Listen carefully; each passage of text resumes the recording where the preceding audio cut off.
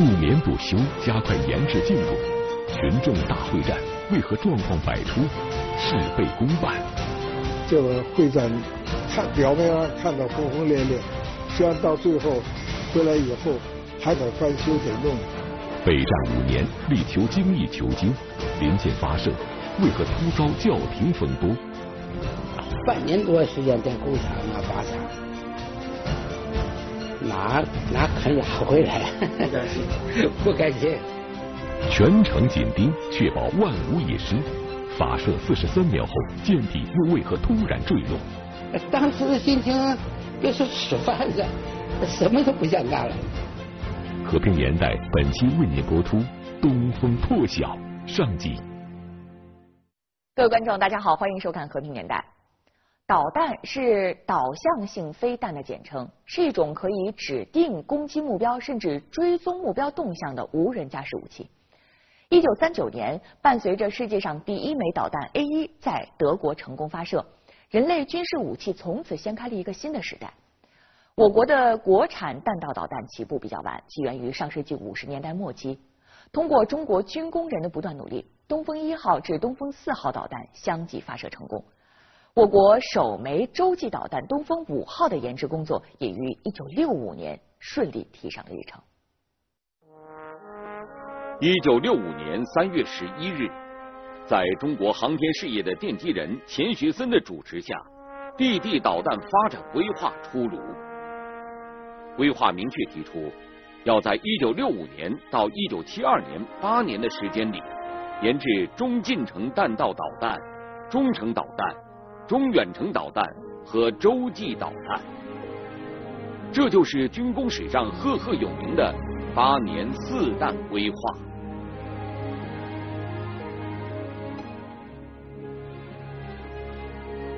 实际上就是搞搞搞导弹的，呃，跟火箭的，也就是东二中近程第一导弹的然后东三中程中程导弹，东四中远程导弹，最后是东五就是洲际导弹。也就是在这一年，一批科技人员刚刚完成东风二号研制任务，转战到了东风五号的研制现场。从东风一号完成对前苏联 P 二导弹的仿制，到东风二号、东风三号和东风四号逐步完成自主研制，导弹研制迈上了一个台阶。而这一次，东风五号能否成功研制，将直接决定着中国能否实现远程洲际核打击能力。对于中国军工人来说，这将是一次极大的跨越，充满了挑战。东三到东四是有继承的，东四到东五的这个跨度比较大，哎，跨度比较大，因为这个这个应该说，呃，它不是不是这个一一一一个一个一个呃，完全是就是说这不是一个小步子，呃，是一个比较大的步子。这个大的步子对于这个应该说对于这个整个这个研制队伍来讲，那是面临的。就有很多方面啊，把它他们把它概括起来了，就十大关键技术了。大推力火箭发动机技术、计算机制导技术、推力矢量控制技术、新型屋防技术、地下井热发射技术等等，每一项新技术都是设计师们需要面对的难度。作为洲际导弹，东风五号的精度要求非常之高。当时的晶体管计算机不能适应这项任务的要求。梁思礼提出了一个大胆的设想，采用当时刚刚问世的运算速度较高的集成电路计算机。当时那会儿能干这个的只有美国的明迪二导弹上了平台计算机，而且它首次采用集成电路以后。呃，出了很多元器件上的问题，也不是很不不是很顺利。而在那个当时的前苏联也正在开始想要搞，还没搞起来，所以我们上要上平台冠道平台和集成电路计算机方案的时候，应该是一个很先进、很很大胆的一个决策。面对这样的新技术难题，东风五号的设计师们想出了一个巧妙的方案。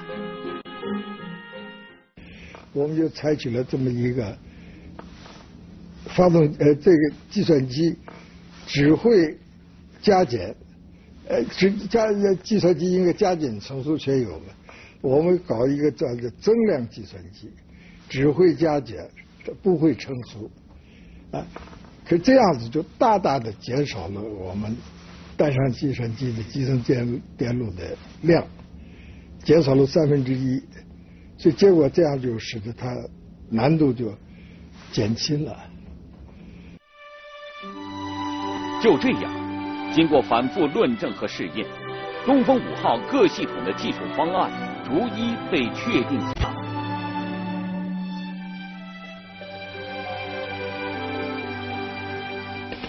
一九七零年，为加快东风五号的研制进度，承担主要任务的北京地区组织了七零五大会战。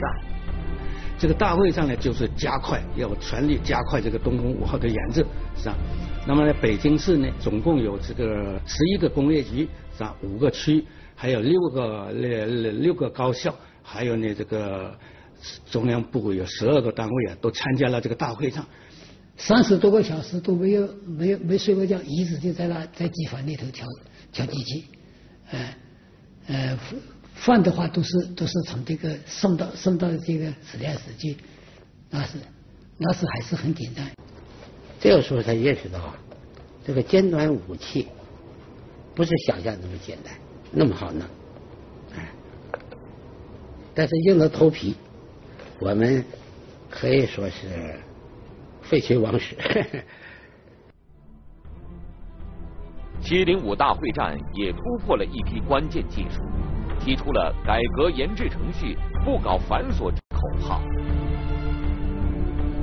但是以群众运动方式研制导弹，使大部分设备在试验时问题百出，有的不得不回厂返修，甚至重做。梁思礼被逼无奈。想出了另一个对策。当时那会儿，我留了一个，就是留了一个后手，我就没敢把弹上所有的东西拿去会战。我仅仅同意我说把地面设备、呃电源这些不是太重要的东西拿去会战。结果会战搞了很多场，呃，又是不按的。规范呐，工艺要求各方面来干活，所以干的东西这个元器件也没很好筛选，焊接也不行，呃，一些小厂在这，结果会战看表面上看到轰轰烈烈，实际上到最后回来以后还得翻修得弄，所以结果是搞得就是非常被动。一九七零年十一月。东风五号进入总装厂，开始总装测试。东风五号开始了进入靶场前的第一个大干一百天。梁思礼负责整体测试工作。因为各个每个分系统全都是带着问题来的，而且呢，分系统分系统之间匹配上也存在着很多问题。所以就问题一大堆，全搅在一块了。所以就是我们就是就大干苦干。在这大干苦干的一百天里，航天人坚守着严肃、严格、严密的三严作风。一次，一个脱落插头中的小药球丢失了，如果掉进火箭里。将会带来灾难性的后果。所以呢，为了找这个珠子，是吧？当时呢，整个总装车厢、整个厂的上上下下的人啊，都动员起来，是吧？这个在整个车厢里头啊，趴在地上找。要在洲际导弹的总装厂里找到它，无异于大海捞针。在偌大的厂房里。院所厂的领导、设计师们全都趴在地上到处寻找，终于在一个铁轨缝里找到了这个小玩意儿。比如说平台，不是多脉冲就是少脉冲，哎，计算机，哎，不是死机就是发生错误。那个系统信号每一次测试结果都不一样，所以为什么搞了一百天测试呢？就发现问题就修改，哪有问题哪改，就这样折腾了一百天。实际上那会儿没天没夜的，根本整个就完全泡在工作里了。这个我在那没日没日没夜的干了五十天。结果最后尿血了。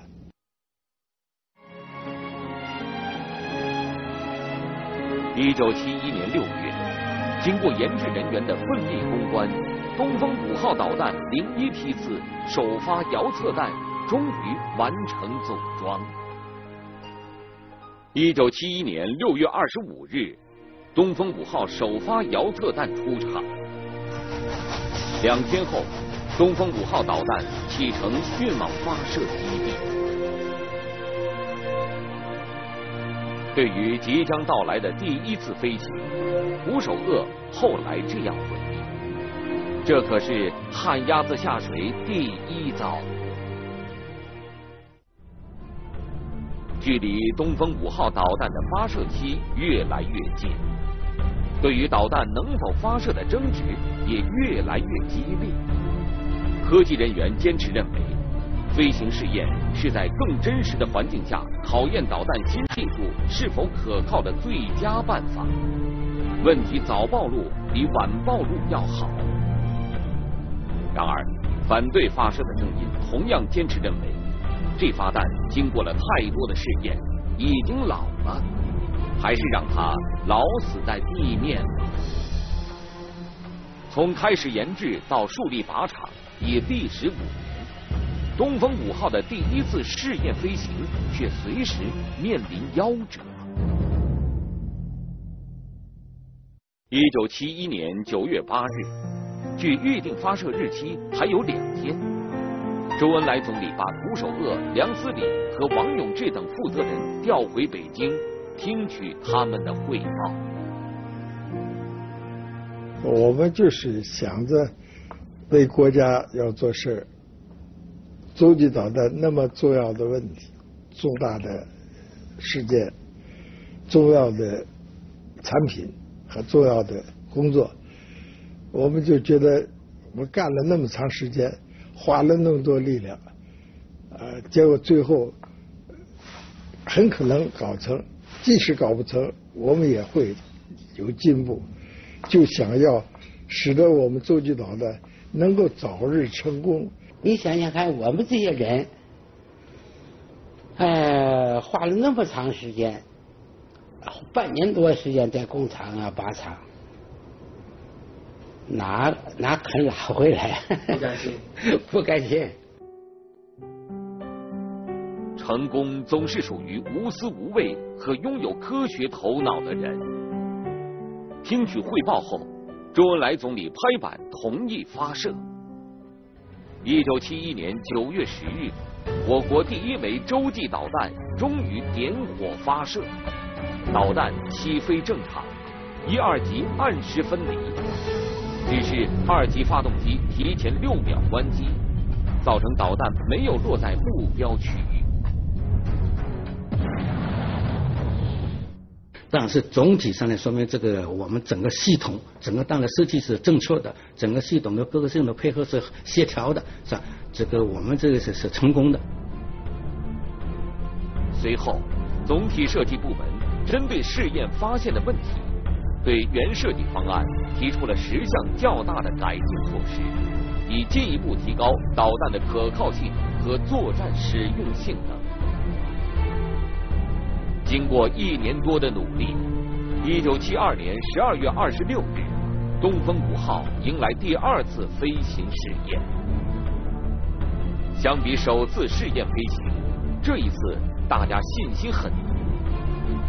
然而，在一级发动机点火过程中，由于电报管短路，导弹自动紧急关机，发射被迫终止。那在靶场，那个西北风一吹，这最冷的地方，结果不正点，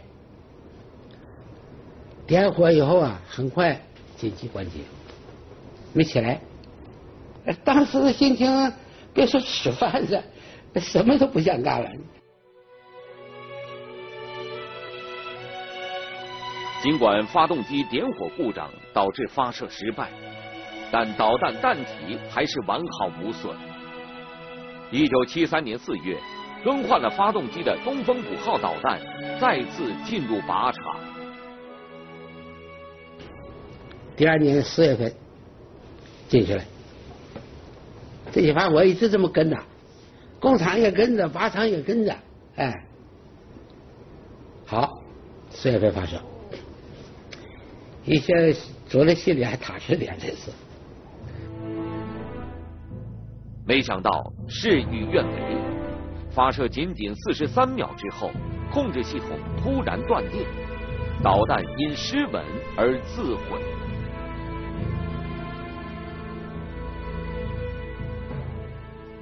这一次不如一次了，那第一次算成功吧，第二次还保住个弹，发动机给换掉了，第三次连弹一起毁。然而。接二连三的打击，并没有让研制者们停下脚步。此后，正是在他们的努力下，由东风五号零一批改装成的长征二号运载火箭取得了重要进展。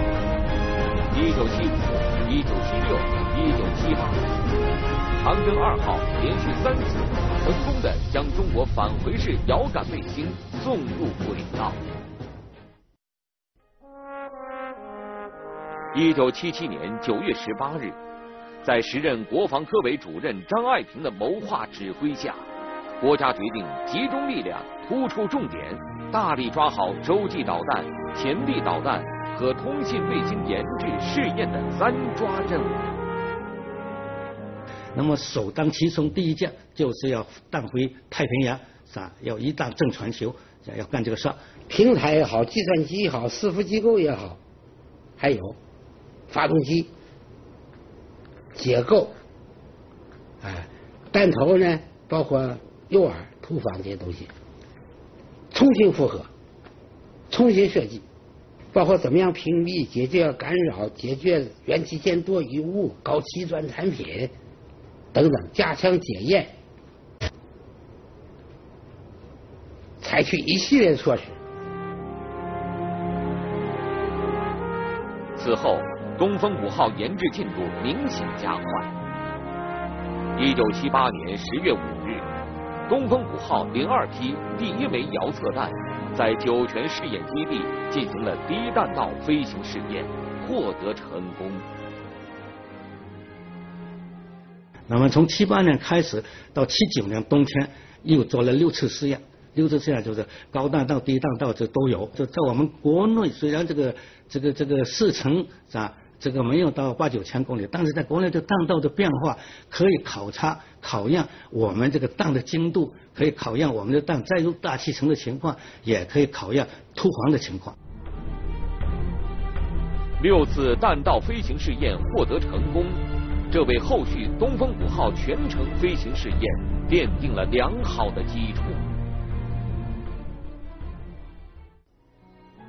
一九七八年七月。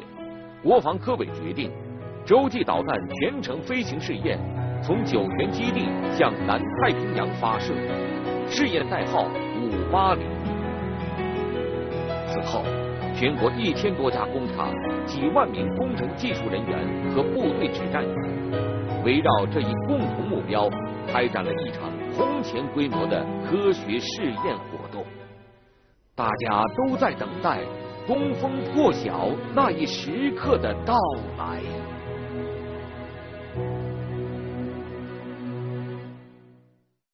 中国军工人的努力没有白费，考验终究带来收获。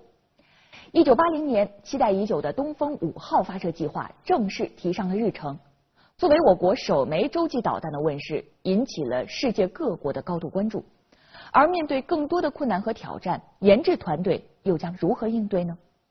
明天同一时间，请您关注《东风破晓》下集。好了，感谢您收看今天的节目，再见。多年奋战，终成一弹。发射前夕，一则公告为何引发全世界关注？在全世界舞台上表演我们的飞机。东风破晓，举国欢庆。大山深处，实验人员又为何愁容满面？我们哪里还鼓励原来那个乘客，就是说赶紧的下来沿河的就是征召。回顾军工记忆，揭秘洲际导弹成功发射背后的故事。和平年代下期为您播出《东风破晓》下集。